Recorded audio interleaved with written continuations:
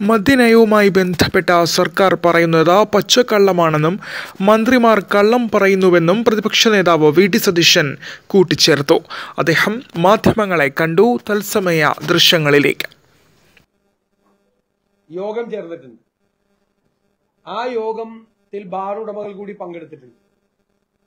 അത് സംബന്ധിച്ച യോഗം വിളിച്ച ടൂറിസം വകുപ്പിന്റെ സൂ മീറ്റിംഗ് ആണ് നടത്തിയത്. ആ സൂമിന്റെ ലിങ്ക് എന്റെ കൈവശമുണ്ട് അപ്പൊ നിരന്തരമായി യോഗം നടന്നുകൊണ്ടിരിക്കുകയാണ് കൂടിയാലോചന നടന്നുകൊണ്ടിരിക്കുകയാണ്. ടൂറിസം വകുപ്പ് വിളിച്ചു ചേർത്ത മെയ് ഇരുപത്തി ഒന്നാം തീയതിയിലെ യോഗത്തിൽ ഈ ഡ്രൈ ഡേയെ കുറിച്ചും ബാറിന്റെ സമയപരിധി വർദ്ധിപ്പിക്കുന്നതിനെ കുറിച്ചും ചർച്ച നടന്നിട്ടുണ്ട്.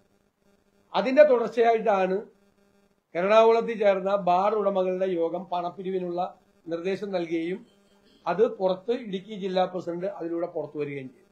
രണ്ട് മന്ത്രിമാരും പച്ചക്കള്ളമാണ് പറഞ്ഞിരിക്കുന്നത്. ഒരു കൂടിയാലോചനയും നടന്നിട്ടില്ല. ഔദ്യോഗികമായ യോഗങ്ങൾ നടന്നിട്ടുണ്ട്.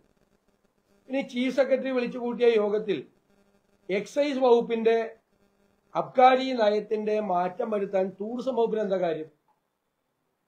ടൂറിസം വകുപ്പിന് എന്താണ് ചുമതലപ്പെടുത്താൻ കാര്യം?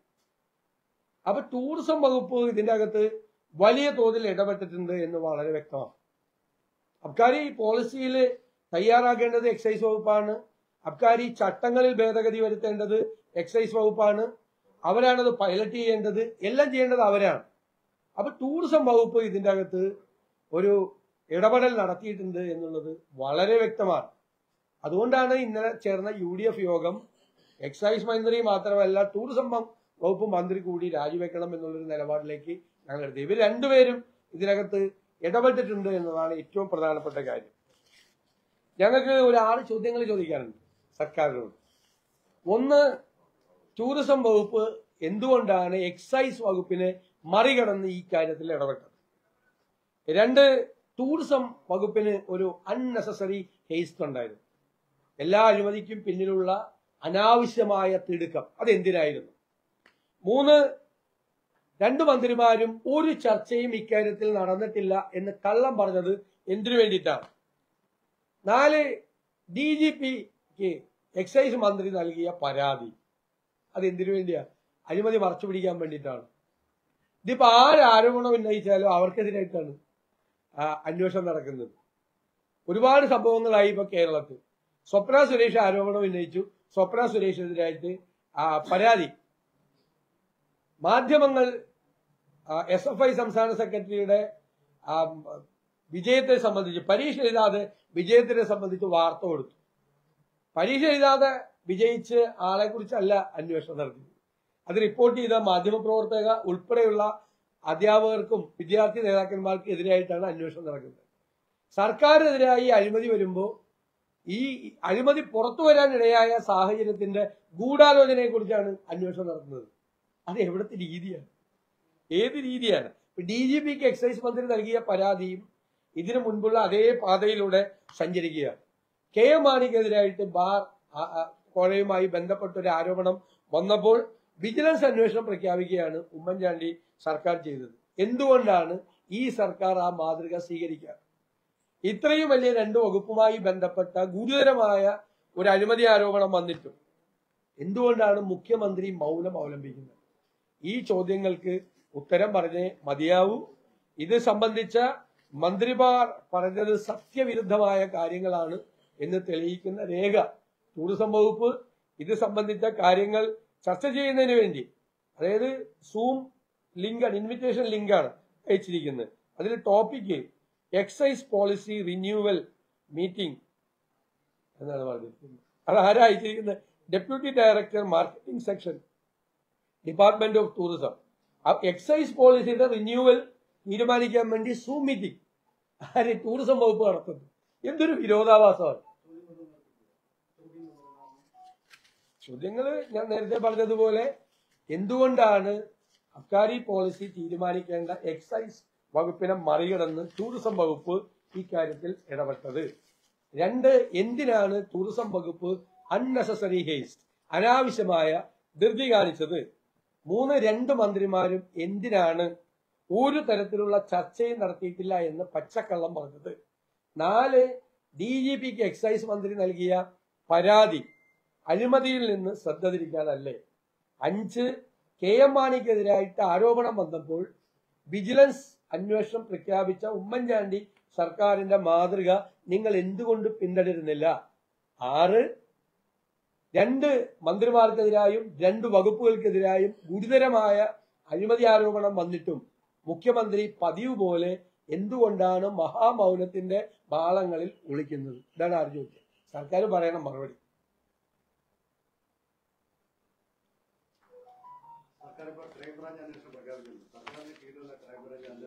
തരത്തിലുണ്ടാവും അല്ല സർക്കാർ ഞാൻ നേരത്തെ പറഞ്ഞതുപോലെ സർക്കാർ അന്വേഷിക്കുന്നത് എന്താ? ഈ വാർത്ത എങ്ങനെ പുറത്തുപോയി എന്നതിനെ കുറിച്ചാണ് അന്വേഷിക്കുന്നത്. അല്ലാതെ ഇതിൽ നടന്നിരിക്കുന്ന അഴിമതിയെ കുറിച്ചല്ല അന്വേഷിക്കുന്നത്. അതാണ് ഇതിലെ വിരോധാഭാസം. അതാണ് ഞാൻ നേരത്തെ ഉണ്ടായ സ്വപ്ന സുരേഷിന്റെ ആരോപണവും എസ് എഫ് ഐ സംസ്ഥാന സെക്രട്ടറിക്കെതിരായ ആരോപണവും വന്നപ്പോൾ അതിലെ ഗുരുതരമായ തെറ്റുകളെ കുറിച്ചല്ല അന്വേഷിച്ചത്. അത് എങ്ങനെ പുറത്തു വന്നു? എങ്ങനെ പുറത്തുപോയി? എന്നാണ് ഇപ്പോൾ പോലീസിന്റെ അന്വേഷണം നടക്കുന്നത്. പോലീസ് അന്വേഷണം ഇത് പ്രഹസനമാക്കി മാറ്റിയാണ്. പ്രഹസനമായി മാറുകയാണ് ഈ രണ്ട് മന്ത്രിമാരും രാജിവെച്ച് ഒരു ജുഡീഷ്യൽ അന്വേഷണം നടത്തണം എന്നാണ് യു ഡി എഫിന്റെ ഡിമാൻഡ്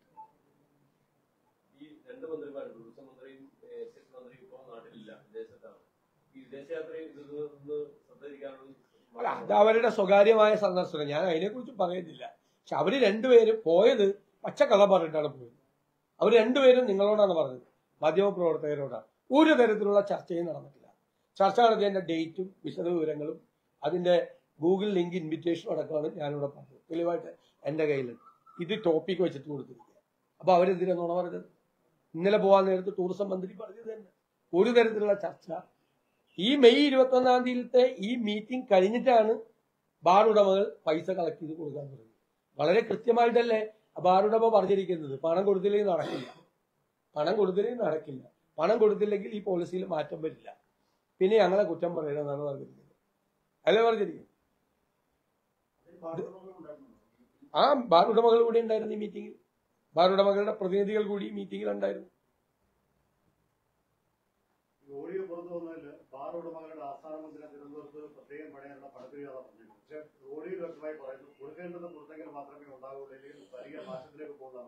വളരെ കൃത്യമായിട്ട് പറഞ്ഞിട്ടുണ്ട് ഓഡിയോയിൽ. ഓഡിയോയിൽ അവരുടെ കെട്ടിടത്തിന്റെ പണപ്പിരിവിനെ കുറിച്ച് അല്ല പറഞ്ഞിരിക്കുന്നത്. അവർ മീറ്റിംഗിന് അയച്ച അജണ്ടയിലും ഈ പണപ്പിരിവിനെ കുറിച്ച് അല്ല പറഞ്ഞിരിക്കുന്നത്. എക്സൈസ് പോളിസിയിലുള്ള ചേഞ്ച് പിന്നെ റെയ്ഡ് എക്സൈസ് റെയ്ഡുകൾ നിരന്തരമായി നടക്കുന്നതിനെതിരായിട്ട് അതായത് എക്സൈസ് ഉദ്യോഗസ്ഥന്മാരുടെ പണപ്പിരിവ് ഇത് വേറെ പണപ്പിരിവ്. എക്സൈസ് ഉദ്യോഗസ്ഥന്മാരുടെ അനധികൃതമായ പണപ്പിരിവ് തുടങ്ങിയ കാര്യങ്ങൾ ചർച്ച ചെയ്യുന്നതിനാണ് അവരുടെ അജണ്ട. അല്ലാതെ അവരുടെ കെട്ടിടത്തിന്റെ നിർമ്മാണ പിരിവല്ല. അവർക്ക് ഇപ്പൊ അങ്ങനെ പറയാൻ പറ്റുള്ളൂ. കാരണം ഇത് മാറ്റി കൊടുക്കണമെങ്കിൽ പൈസ കൊടുത്താലേ നടക്കുള്ളൂ എന്ന് വ്യക്തമായി.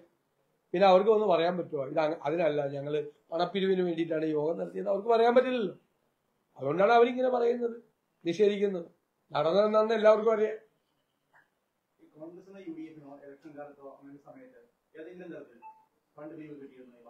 ഞങ്ങൾ അവരുമായിട്ട് ബന്ധപ്പെട്ടിട്ടൊന്നുമില്ല. അല്ല പണം ഏതെങ്കിലും പാറയാൽ ഏതെങ്കിലും സ്ഥാനാർത്ഥികൾക്കോ ഏതെങ്കിലും പാർട്ടി കമ്മിറ്റികൾക്കോ കൊടുത്തിട്ടുണ്ടാവും കൊടുത്തിട്ടുണ്ടെങ്കിൽ അതിന്റെ റെസീറ്റും കൊടുക്കും.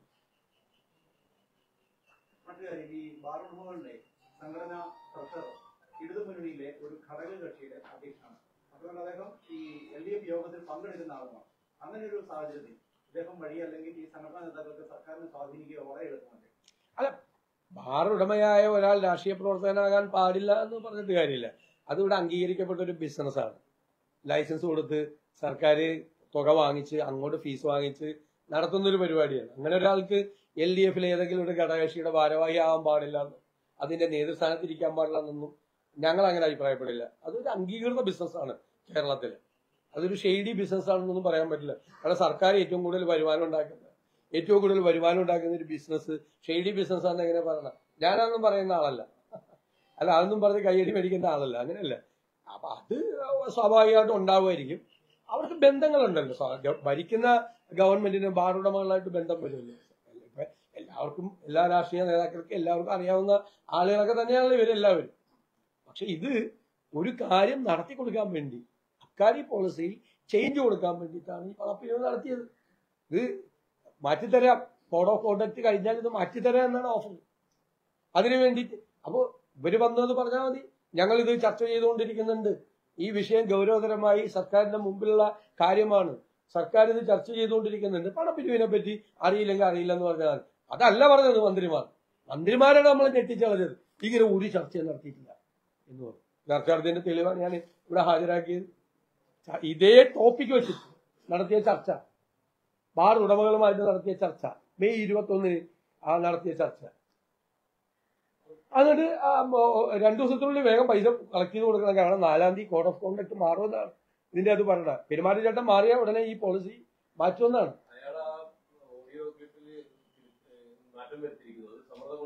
സ്വാഭാവികമല്ലേ? അതങ്ങനെയല്ലേ വരുള്ളൂ.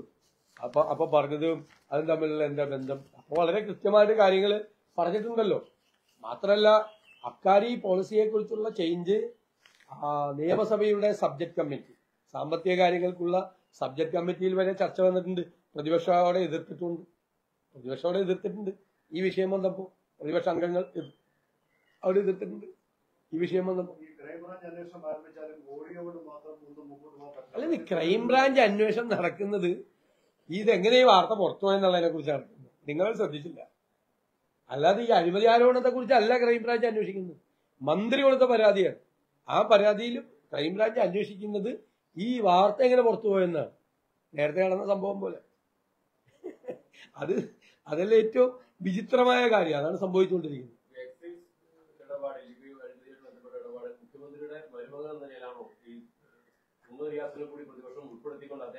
അല്ല അല്ല. അദ്ദേഹം മരുമകനാണല്ലോ. അല്ലാത്ത കാര്യമൊന്നുമില്ല. അല്ല അല്ലാതാവില്ലല്ലോ ടൂറിസം വകുപ്പ് ഇതിന്റെ അകത്ത് അനാവശ്യമായ ഒരു ഇടപെടൽ നടത്തിയിട്ടുണ്ട്.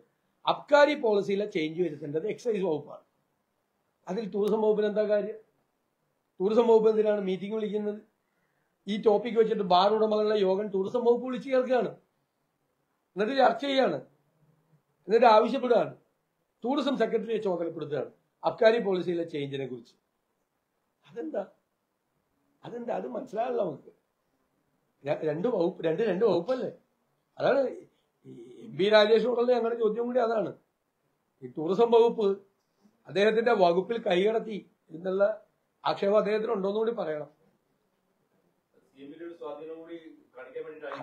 ഇത് നമ്മളിപ്പോ ഇതല്ലേ ആദ്യം പറഞ്ഞല്ലോ. വളരെ വ്യക്തമായി പറഞ്ഞല്ലോ. ടൂറിസം വകുപ്പ് ഇടപെട്ടിട്ടുണ്ട്. വിത്ത് എവിഡൻസ് ആണ് ഞങ്ങൾ പറയുന്നത്. വ്യക്തിപരമായ ആക്ഷേപമല്ല വിത്ത് എവിഡൻസ് എന്നിട്ട് മന്ത്രിമാര് നുണ പറഞ്ഞു. രണ്ടുപേരും പച്ചക്കള്ളം അല്ല പ്രതിപക്ഷം പ്രതിപക്ഷം സമര പരിപാടികളുമായിട്ട് ഇറങ്ങുകയാണ് ഞങ്ങളുടെ യുവജന സംഘടനകൾ യൂത്ത് കോൺഗ്രസ് യൂത്ത് ലീഗ് ഒക്കെ സമരങ്ങൾ കെ പി സി സിയുടെ സമരപരിപാടി അടുത്ത ദിവസം തന്നെ കെ പി സി പ്രസിഡന്റ് പ്രഖ്യാപിക്കും. യു ഡി എഫിലെ ഘടകകക്ഷികൾ സമരവുമായി മുന്നോട്ട് പോകും. ആ സമരം കഴിഞ്ഞ് കഴിയുമ്പോൾ നിയമസഭയിൽ ഞങ്ങൾ ഈ വിഷയം ഉന്നയിക്കും. നിയമസഭാ സമ്മേളനം ആരംഭിച്ചാൽ യു ഡി എഫിന്റെ കൂടി ഒരു സമരം ഇതുമായി ബന്ധപ്പെട്ടിട്ടുണ്ടാവും. നിരന്തരമായ സമരങ്ങൾ ഉണ്ടാവും. നമ്മൾ ഈ ഡിമാൻഡ് വെച്ചു രണ്ട് മന്ത്രിമാര് രാജിവെച്ച് ജുഡീഷ്യൽ അന്വേഷണം നടത്തണം എന്നാണ് ഞങ്ങളുടെ ഡിമാൻഡ്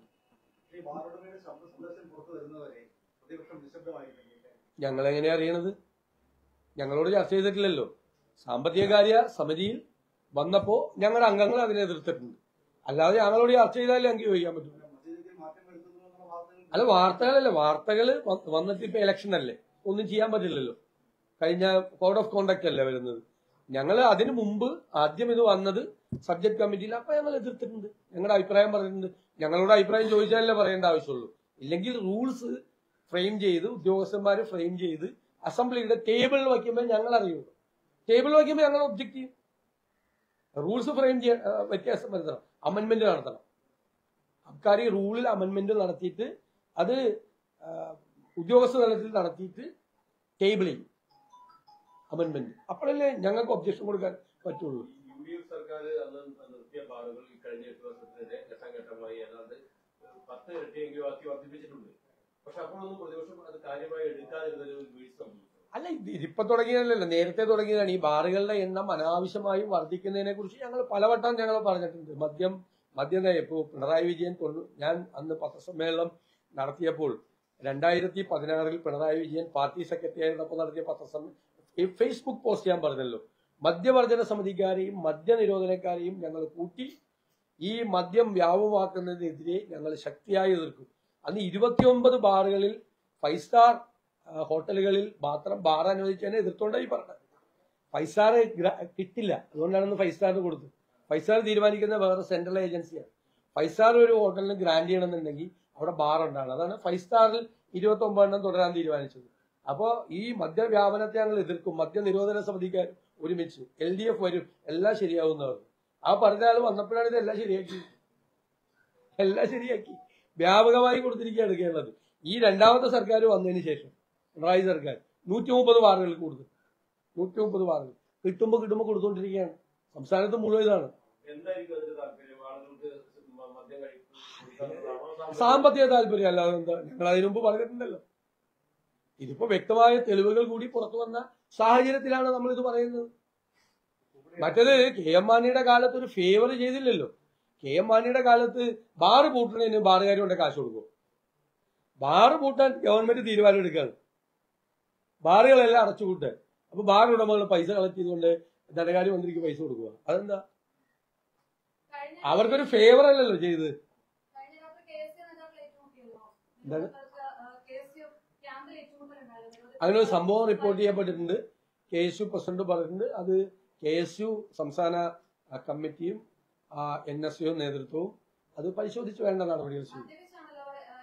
അതറിയില്ല. അതെനിക്കറിയാം. അത് പറഞ്ഞല്ലേ? വളരെ വ്യക്തമായ തെളിവുകളല്ലേ പറഞ്ഞിരിക്കുന്നത് നടന്നിട്ടില്ല തന്നെയാണ്. അപ്പൊ ഈ രണ്ടുപേർക്കും പിന്നാലെ വ്യവസായ ഒരു മൂന്നാമത്തെ മന്ത്രി കൂടി കള്ളം പറയുന്നുണ്ട്. അദ്ദേഹത്തിന് അറിയില്ലാണ്ടായിരിക്കും. മറ്റവർ പറഞ്ഞത് ശരിയാണെന്ന് വിചാരിച്ചിട്ടായിരിക്കും വ്യവസായ മന്ത്രി കൂടി പറഞ്ഞത്. ഞാൻ തെളിവാണ് ഹാജരാക്കിയത്. യോഗം നടന്നിട്ടുണ്ട് ചർച്ച നടന്നിട്ടുണ്ട്. മൂന്ന് സ്ഥലത്താണ് ഞാൻ പറഞ്ഞത്. ഒന്ന് ചീഫ് സെക്രട്ടറിയുടെ യോഗം. രണ്ട് ടൂറിസം ഡിപ്പാർട്ട്മെന്റിന്റെ യോഗം. മൂന്ന് സാമ്പത്തിക കാര്യ സമിതിയിൽ ഇത് ചർച്ച ചെയ്തു. മൂന്ന് സ്ഥലത്ത് വന്നിട്ടുണ്ട്. അപ്പൊ ചർച്ച നടന്നുകൊണ്ടിരിക്കുന്നുണ്ട്. മെയ് ഇരുപത്തൊന്നിലെ ചർച്ചയാണ് ഈ പിരിവിലേക്ക് നയിച്ചത്. അത് ടൂറിസം വകുപ്പാണ് ഇനിഷ്യേറ്റ് ചെയ്തത്. അതാണ് അത്ഭുതപ്പെടുന്ന കാര്യം.